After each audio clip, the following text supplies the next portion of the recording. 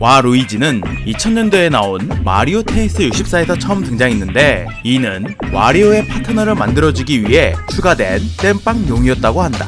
와 루이지 number one.